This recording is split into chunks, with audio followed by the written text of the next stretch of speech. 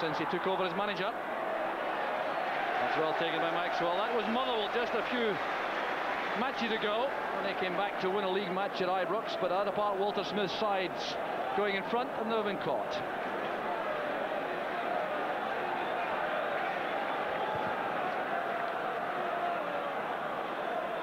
Hateley. The space there which Mitchell occupies. There's McAllister. Well, he's complaining there his teammates, McAllister. He was short of options as Durrant runs offside. Oh, the noise again, all coming from the Rangers end. Here's McAllister. Now O'Neill.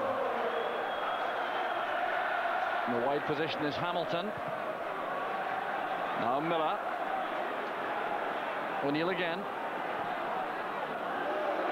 Uh, rather hopeful ever that from long range. Carefully watched by Maxwell. But Mike O'Neill enjoying this opportunity to become involved in the play. Has been finding it difficult to get a grip in midfield.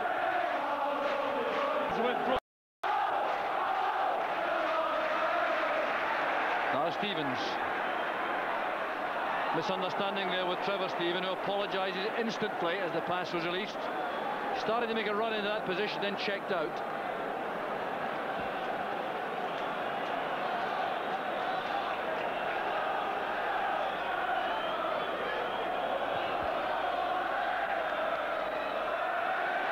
Gough climbing there to win that from right.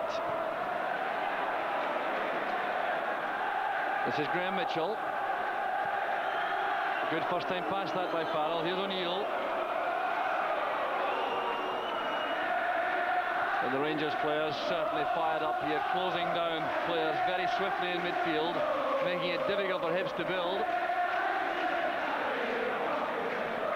Misunderstanding it again as Hunter tried to find Hamilton wide on the right. And here's Jim Leighton showing good judgment as Durrant was in the clear. Mitchell forward. Gough has help here from Stevens. Careless one inside. This is Keith Wright. Needs help in the middle. It's turned in by McPherson.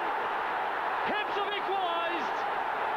Dave McPherson utterly dejected there.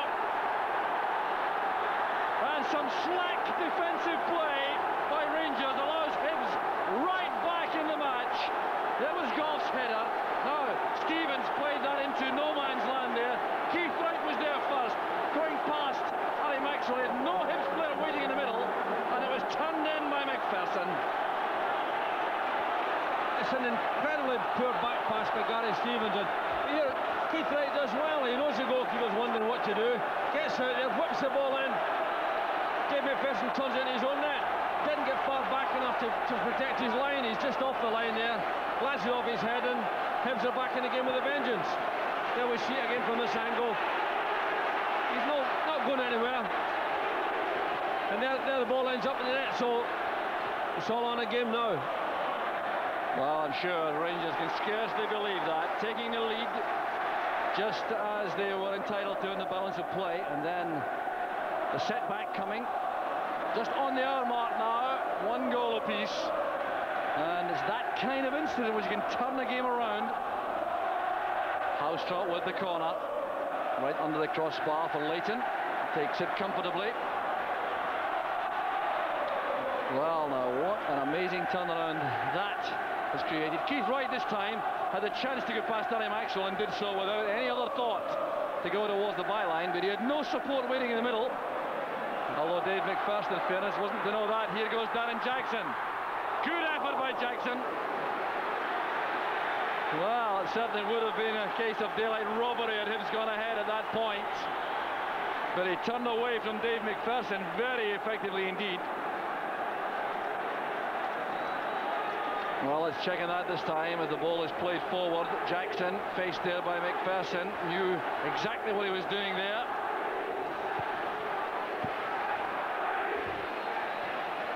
if nothing else, that uh, goal certainly have given Hibs belief, belief in themselves. They'll make a real game of it now because we really haven't seen anything off of the attacking force up to the goal. Now we see them full of confidence, charging at that Rangers end and creating all sorts of problems.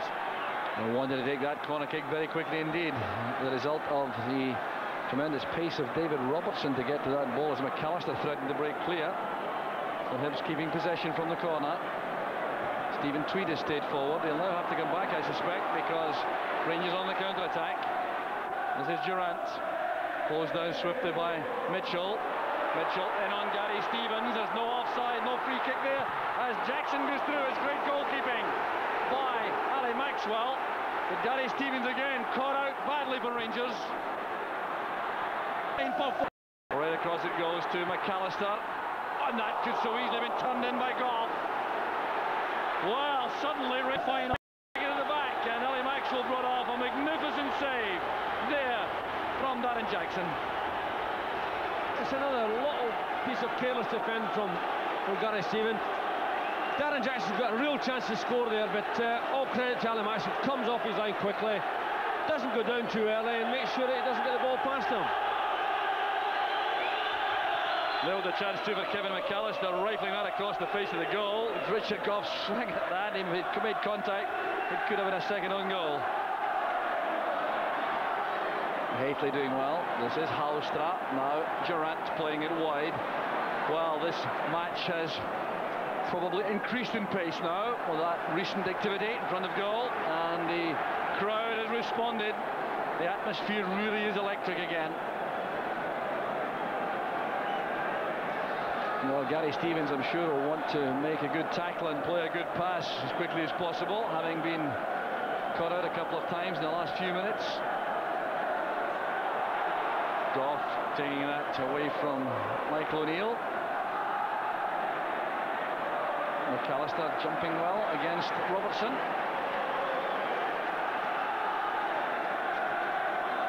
Walter Smith is back from his seat in the director's box clearly contemplating some alterations. It may be that Ally McCoist will be introduced to the fray. Discussion with his close confidant, Archie Knox. Durrant's layoff. This is Steven. Switching the play to McPherson. Robertson's gone well forward. It's well read by Hunter. McPherson playing it back to Richard Gough, who has time to turn around and play the ball upfield. Steven had to hurry. This is McPherson. And Hibs have taken wings from that boost provided by the goal. And down goes McPherson. He was clocked by Jackson. The offside flag is up against Durrant. And the ball was released. He was just offside. Darren Jackson living a shade dangerously there because he clearly brought down Dave McPherson as a big centre half went sprinting forward. Well, Darren Jackson apologising there to Dave McPherson, trying to keep his temper under control. Played forward by Mitchell towards Keith Wright. Stevens missed it. There's Gough. Taking the ball to safety. Stevens again. Hateley beaten to that by Tweed. Good header by Trevor Steven. McCall. Stevens Gough provided a deep angle there for Stevens. There's McCall. Difficult pass to receive that with two Hibs players around him. That's Dave McPherson. Ferguson forward, space here for Huistra. Hateley waits in the middle. And Gordon Hunter determined to prevent that coming across the face of goal. Durrant will take the corner kick, an orthodox one. So Hibs players go back to the penalty box to defend. It's played short this time, no. Variety provided by Durrant. Headed away well by Keith Wright, deep inside his own box. That's Ferguson. Huistra forward. Gets beyond McAllister for Robertson. Up goes Hateley. Good play again by Gordon Hunter inside that Hibs penalty box. He has battled away extremely effectively, Hunter, the Hibs captain. Trevor Steven. There's no offside here. Durrant breaking in a very promising position. McPherson going down. That's Ferguson! And a great save once again by Leighton. He fixed the lines with his flag up. But a fine strike by Ferguson. once again we see Ian Durrant getting a good position, sends in a lovely ball right across the area. Cleared out in the middle, good strike through a crowded defence by Ian Ferguson, but Jim Leighton was up to the plate. He's had a good game for Hibs today, really has. Fine match, the Hibs goalkeeper. Very good handling that. Seems to have taken a knock in his back. Jim Leighton is holding that and giving it a rub as the play goes on in the middle of the field. There's Gary Stevens and now Durrant. Plenty of Rangers players forward. One of them is McCall. Well, good energetic play again from Stuart McCall coming to the middle of the field. Very close to his best. And the noise you hear greets the arrival on the track of Ally McCoist.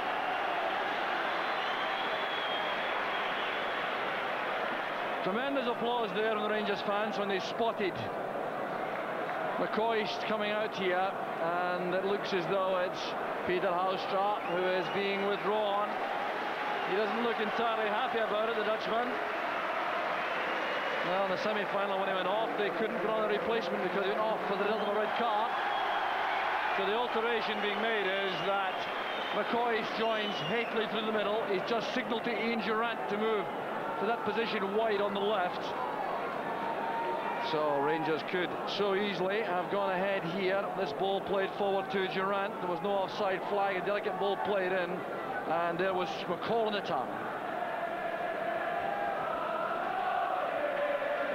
Ally McCoist on, hoping to break the record of League Cup winners' medals if he can be in the winning side this afternoon. He'll edge one ahead of Davy Cooper. They've both won eight medals so far. So Jim Leighton getting some treatment. That's why we have a hold-up. Stuart Collie, the physio, has carried out his work. And Leighton now will take the goal kick. So Durrant now operating wide on the left of midfield for Rangers. Interesting change, Billy. Well, it sets a new problem for Hibs. Uh, I felt that Durrant has played very well just off the centre uh, just off the centre forwards position, but uh, whether or not he'll be just so valuable there, I, am not sure. And a fine move there from Rangers. Ian Durrant popping up in his new position, sending forward a delightful pass from McCall. He tried to pick up McCoist with the pass, but, well, Durrant showing his versatility. That's a great ball for McCall. He knew exactly where McCoist was, just couldn't find him. I think he must have heard me tempting him there, Jock. McCoist is beaten to this by Tweed. Up goes Brian Hamilton. This is Jackson. He miscued that somewhat. McAllister in a race here with Maxwell, which the goalkeeper was always going to win. Good backtracking work by McAllister, forcing Robertson to hurry. Steven to Stevens. Good running again by McCall. Steven back towards Stevens. In goes Michael O'Neill. Richard Gough for Rangers. Rather obvious that pass from Steven allowing Mitchell to go in. Stevens was very determined to win it back. Ferguson again to Stevens. Durrant has found space again. Not picked up properly by the Hibs defence. Well, his movement, it really has set a problem for the Hibs defence all afternoon. Gary Stevens is on his knee there. He's looking a little bit unhappy. Rangers fullback, back in his feet now, but hurtling somewhat. McCoist breaks on the right. In goes Steven Tweed. Well, Rangers trying to step up a gear again and attempt to win this match within the 90 minutes. Remember, it's Hibs 1, Rangers 1. We've had 25 minutes of the second half as McCoist goes to the byline. Well, perhaps an indication that the match sharpness is not yet back with him. Yeah, the movement's there. Here we see the nice little, nice little pass. We see the movement there, but perhaps he just lacks a little bit sharpness. Mind you, just come on in a very competitive game, which is always difficult, especially after after a serious injury. Ally Maxwell looks to the heavens there as he miscues that clearance, giving possession back to Hibs. A shake of the head by the keeper. Had a good match though. And the referee is allowing a hold up here to give some treatment to Gary Stevens. On comes Bill Collins, the Rangers physio. But Hibs certainly still have all the problems to handle, Billy, don't they? I mean, they've had the chance to come back into the match with that own goal, but it's Rangers who still have the initiative. Well, there was a little spell after the goal when Rangers looked decidedly rocky at the back, and uh, we saw Gary Stevens almost commit another error. But uh, having having said that, Rangers have got back in control again, and they seem to hold all the aces. Whether or not uh, Alan McCoist is sharp enough and match fit enough to, to capture a chance or two, but we'll have to wait and see. But certainly, from a midfield point of view, they, they seem to have a stranglehold in the game. So Alec Miller on there. And You can look read, he's calling to Brian Hamilton, I think, to give him some instructions. Well, if Trevor Steven was the influential midfield player for Rangers in the first half. Stuart McCall has taken over that role since the interval. He's getting better and better as the match has gone on. This is Ian Ferguson. He's also become more involved in the second period. That's a careless pass, though. Mitchell for Hibs. Not enough movement from the Hibs players ahead. Mitchell trying an ambitious pass there towards McAllister. Robertson looking there for Hateley. Comfortably won though by Hunter, but Hateley retrieves it for Rangers. That's Durrant. Ferguson to Stevens. Appears to have recovered fully. Shooting chance perhaps. Caught late there by Farrell. The free kick's been given. David Farrell went in with his studs showing a fraction high. So Stevens felt this all right. I think Farrell's just a little bit unlucky because I, I, I think Gareth Stevens uncertain in his own mind what he wants to do, whether he wants to make a pass or go in to try for a shot. But certainly the referee's right to give a foul. Well, David Farrell, the combative midfield player for Hibs. Stevens has back in his feet quickly as Durrant flights that in, looking for goal! A very good move from Rangers. Richard Gough's run really was not adequately picked up by the Hibs defence. They've just got so many threats from free kicks here. It's a nice little ball, but Richard Gough, in actual fact, is too much on the ball. All he's looking for there is just a little touch. Here we see it again, the early run, no one gets to him. And Jim there and just gets too much on the ball, otherwise that would, be, that would have been another goal for Rangers. Good header again by Gough. That's Tweed. Stopped by Gough, but possession retained by Hibs. O'Neill to Miller. Hamilton made a good run through the inside right channel. Ferguson trying to match him. The good ball across! And about a foot away from Darren Jackson. Appears to have about a cramp there. Good running this by Brian Hamilton. Fine midfield play. Yes, we haven't seen many runs from Brian Hamilton. That's one of his strong points, but gets through the inside right position here. Sends a tremendous ball across here. A very tempting ball. Dan Jackson's only inches away from making contact there. A fine move that from Hibs and from the reverse angle. You'll see what a good ball this was. Away from Ally Maxwell. And Darren Jackson is still on the ground. He clearly is suffering from cramp. And I think he won't take much more part in the game because Gareth Evans has been produced from the dugout. And Hibs are wasting no time at all.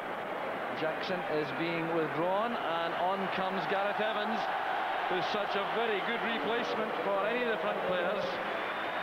Former Rotherham player, 26 years old, bargain buy at some £50,000 five years ago.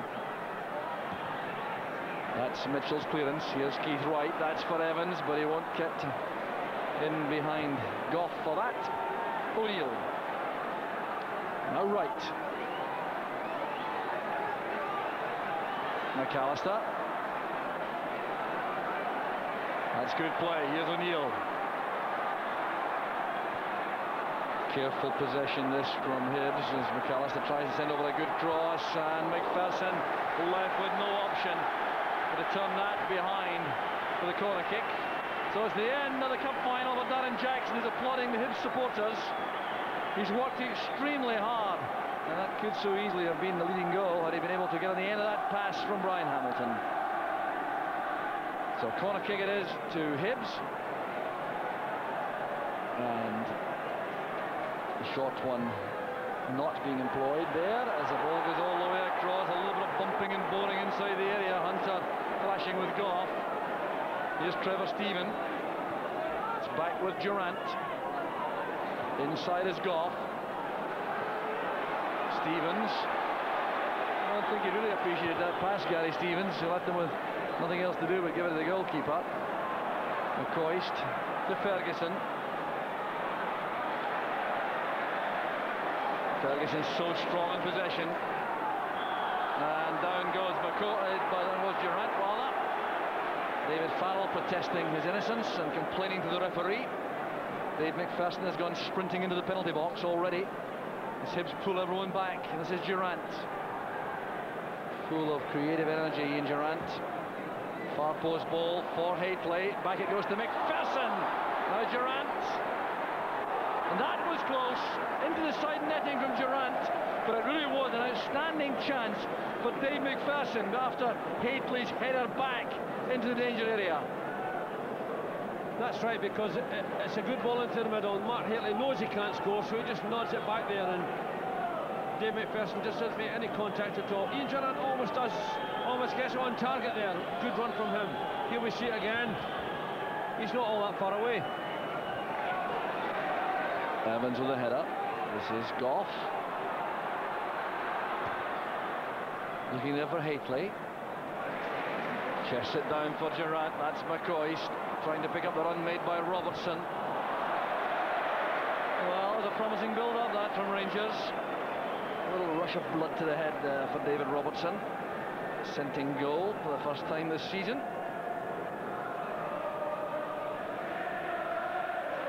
So Jim Leighton, the Hibs goalkeeper, right back to top form and he's been a vital player this afternoon for Hibs keeping them in this final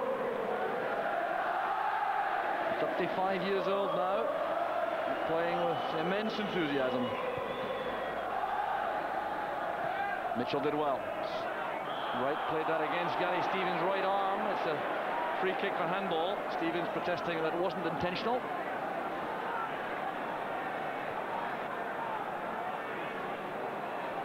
Well, 11 minutes of this 90 minutes remaining. As Hibs come forward on the left with Graham Mitchell, firing in the cross. Keith Wright well beaten there by Robertson. This is Durrant. Through the middle it goes to McCoist, who's dropped off his markers. Ferguson using David Robertson. A fine tackle there by Hamilton. That's for Keith Wright. Well-timed challenge by Gough. An important one.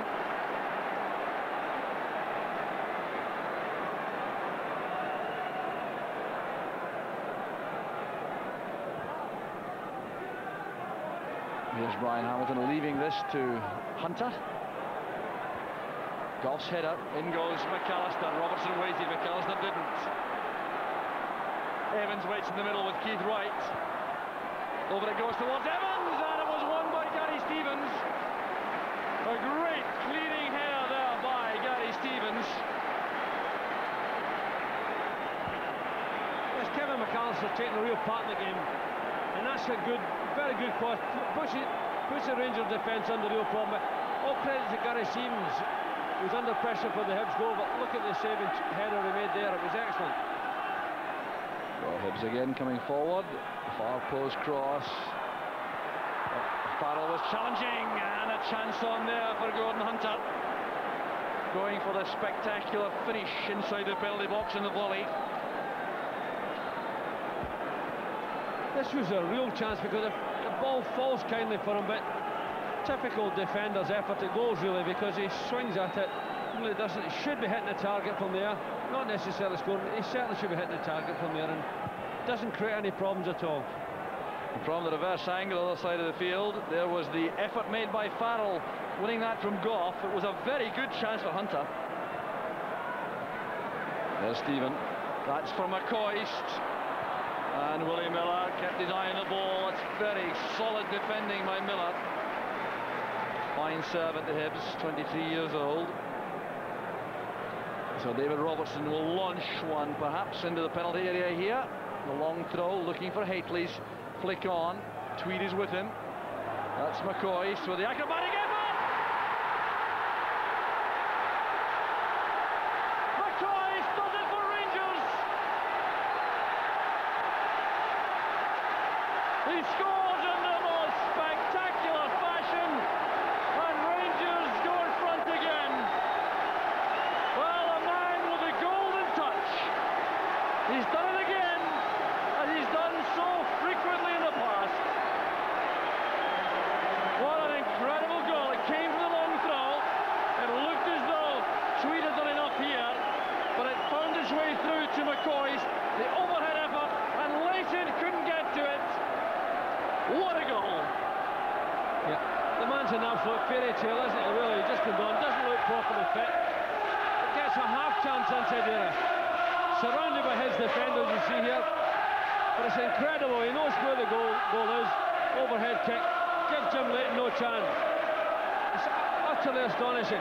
Hibs defence will be wondering why they gave him so much room here because got plenty of defence there. No one gets in the real challenge. There you go. That's Alan McCoist. Well, the man with the golden boot. From, and he's done it again with the most incredible finish. So Hibs have to try to find the resources to come back in the next seven and a half minutes if they're going to save this final. So Rangers leading by two goals to one. Seven minutes left.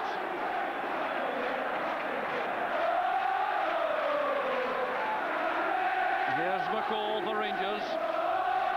Now Steven. Trying to get to the byline. He's overcarried that. Goal kick it is to Hibs. But it does indicate once again, Billy, the importance of a man like McCoist to any side. They've missed his goals this season when they've been struggling somewhat in the league. That perhaps tells the story. Well, that's right. I mean, I, hear people saying that Rangers didn't miss him. Anyone would miss that. A man has scored, scored 49 goals last season. He's tremendous inside the box. I mean, here we saw him at his best. His back to the goal, just on, didn't look all that fit, all that sharp. He knows where the goals is, and invariably goals come to him. Well, it could well turn out to be the winner, and a very dramatic one at that. You can see the sheer elation and joy in his face too when he scored it, even more than normal. Looked to be almost emotional after he scored that one. His first League Cup final, way back in 1984, was one in which he scored a hat-trick against Celtic to win by three goals to two. So his record is truly amazing.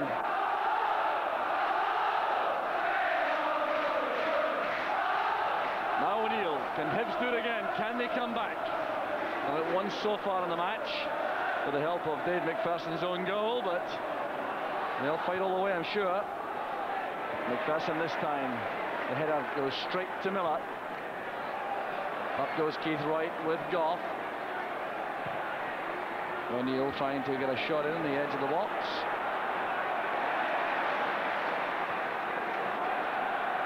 A miscue there by Miller, but there's still a problem with the Ranger defence. Durrant is on the ground. Getting back to his feet, not looking too steady as Hibs come forward again with Farrell.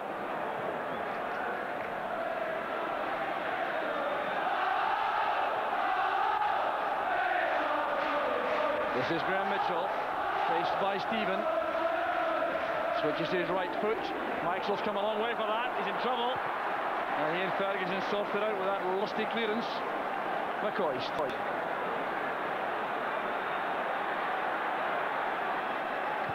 Quite content to play it a long way back. Rangers have Dave McPherson on the ground inside the area as Evans picks it up at the edge of the area. This is Hamilton. Now looking, I think, for Keith Wright in the middle. So Dave McPherson requires some attention. Referee McCluskey waits until Larry Maxwell thumps the ball out of play.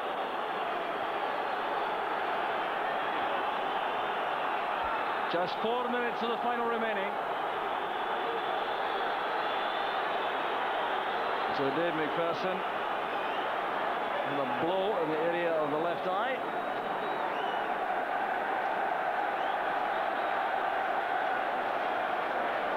So time to be added on before the end. Is there any way back for Hibs, Billy? Any way back? Yeah, I think it's perfectly capable. In fairness to Hibs, after a disappointing first half, when they got the goal, it, it gave them a lot of confidence. They haven't played particularly skillful football, but they've, they've been more aggressive, more assertive in the second half. And Rangers' defence at times has looked a little bit fragile. Um, I think in a game like this, anything can happen. Well, time very much the enemy for Hibs. Well, here's a look at this goal again, the one which may well take the League Cup back to Ibrox. The long throw from David Robertson, which Steven his head to, then broke through to McCoist. One touch in the chest, the overhead effort, well out of reach for Leighton. Well, he'll be telling a few people about that for some time, I reckon. Trevor Steven, McCoist, expected Hateley to make a run in the right, but they may well consider this is not the time for such activity. Farrell to Mitchell.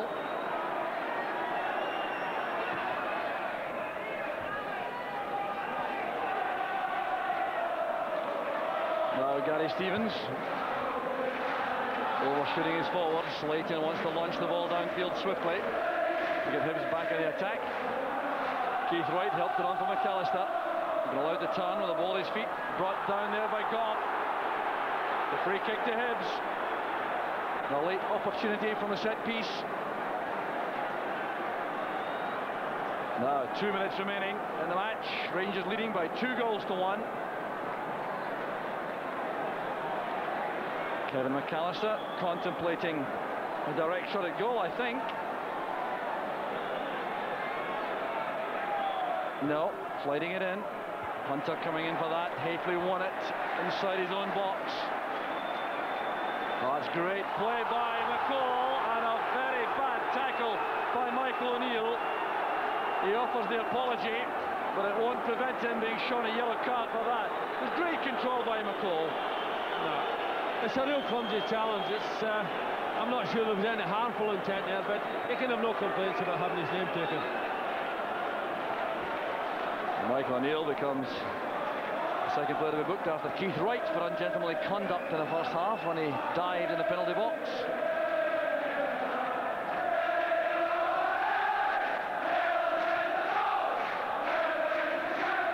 Hateley's header. There's Durrant.